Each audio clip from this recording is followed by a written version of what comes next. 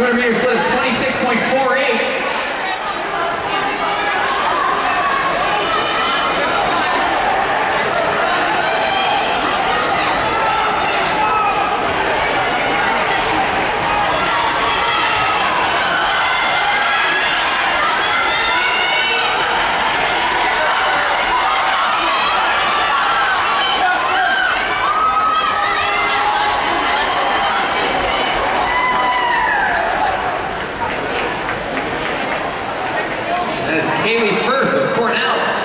winning her section at a time of